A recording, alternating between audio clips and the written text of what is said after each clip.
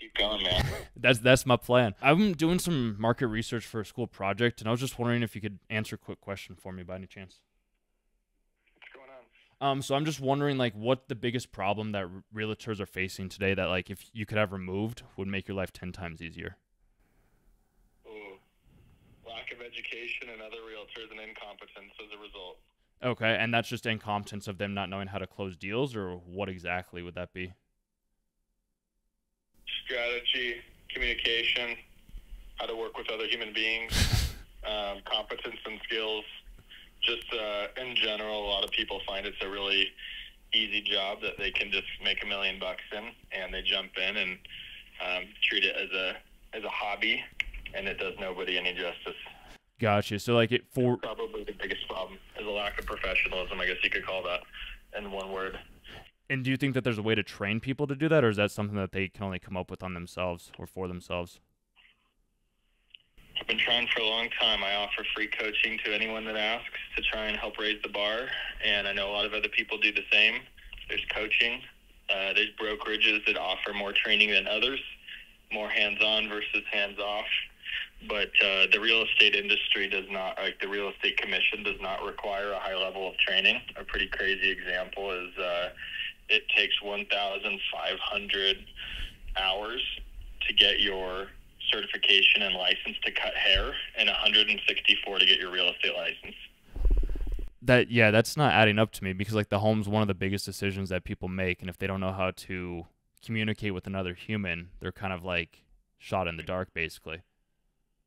Yeah, and just like a lot of professional tests, uh, the real estate exam doesn't teach you a whole lot about how to do real estate. So people people do get their license and, and really have no idea what to do afterwards.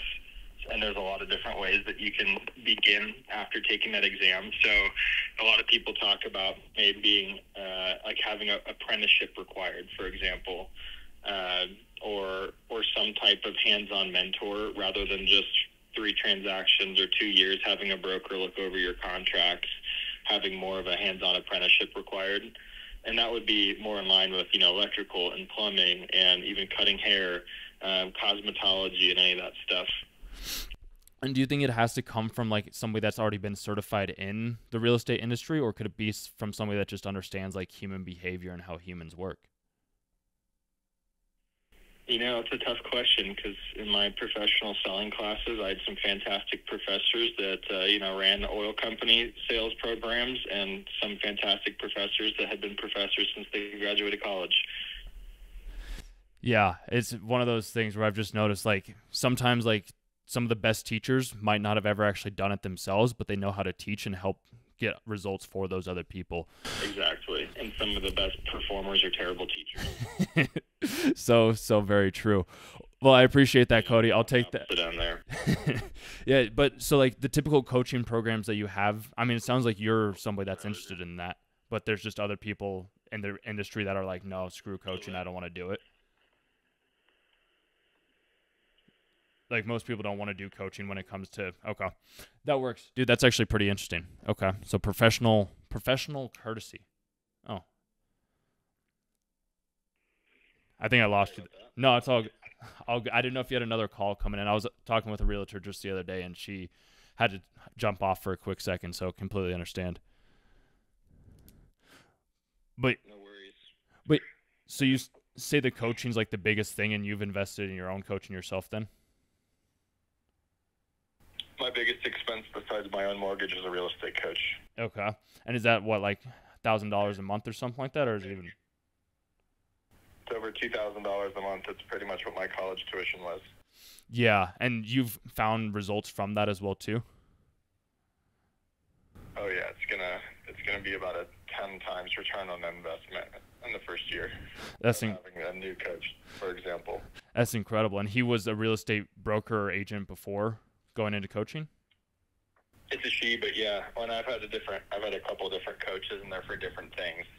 But um, but yeah, for example, this new coach is a business systems and operations coach. So helping to build out automations and more uh, automated systems, uh, more sh- workflows, things like that. Yeah, take off a little, like automate everything for you, so you can get and do what is actually driving revenue. That's right. Awesome, man. No, I appreciate you sharing that with me. I'm looking at starting like my own little coaching thing as well. That's what the school project is about is like trying to get and figure out if I can do that type of work. So I always love getting like feedback and seeing what other people have found like success in. So I appreciate you sharing that with me. Where are you going to school? Locally here? Um, so I'm actually out in Grand Junction, um, out there right now. So on the Front Range, I just I grew up in Colorado, Littleton area, so I've been here my whole life, and I've loved it. The mountains are some of the best things that I could ever like experience, and I'm like I don't ever see myself leaving. Sure. Nice. Well, yeah. There's a for in terms of uh, additional research, there is a uh, there's a company where I get my coaching through. It's the number one real estate coaching company in America through Tom Ferry Coaching.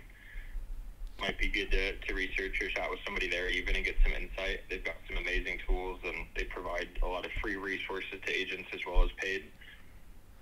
Perfect. Yeah, I think I heard about Tom Ferry when I was doing a little bit of the research beforehand too. And he was the number one dude and I'm like, I don't know how I would be able to compete with him, but I'm like, you get me versus like having like this big company. When I do my stuff, I'm like, I'll do everything. I'll go to the ends of the earth for you, man, basically to make things work. So that's my little thing with how I do it, but not everybody does those yeah, same things. They're pretty big, and his dad, Mike Ferry, is one of the largest business coaches in the world as well, kind of like a Tony Robbins. And, um, you know, they just, uh, it's really important with coaching. Like I said, I've had a couple coaches, and and some of them are more, are more mindset based. Some of them are more tactical in their strategies. Some of them, you know, are good for basic strategies. Some of them are good for uh, creative marketing and social media versus, um, you know, door knocking and cold calling and, and some more uh, old school strategies. So it's really important for agents or any business owner to find somebody that can meet them where they're at. And it might not be a good fit long term. It might just be a good fit for where they're at right now. Um, but in business, of course, there's nothing to take personal. It just depends on where you're at. Exactly. And everybody starts at different places. And that's where I feel like a lot of coaching that I've at least done myself and have come to is like they overgeneralize it and they don't start with where the person's at. So I'm glad to hear that that's where your coach is helping you out is like, okay, this is what we want to do for you. How are we going to get there for you at where you're at in your career? I feel like that's the best way to do anything because it's like going to the gym too. Like you're not going to tell somebody that's brand new to lift 250 pounds. You're gonna be like, let's start out with the bar and then like work our way up. So I look at coaching the same way for everybody. You got to start where they're at. So yeah, I'll take I'll take that into consideration. And the mindset coach, did you ever hire one of those as well too? Then yeah, I've had two different ones, and um, very also very different personalities between them. Um, one was more like sports brain, um, and the other one was a uh, trained as a monk, uh, but uh, looks like a biker and sold his company in his early 30s for well over a hundred million dollars and retired early. And um, so very different ends of the spectrum, but just uh, you know self motivation and health and wellness on top of just business. And um, and that's a big thing right now. Actually, it's a big trend in business is including being inclusive of health and wellness and, and mental fortitude on top of your business because you're not going to ever operate your best if you're not feeling your best. Beautiful, dude. Okay, so professionalism, mindset. He's paying two thousand dollars a month for a coach.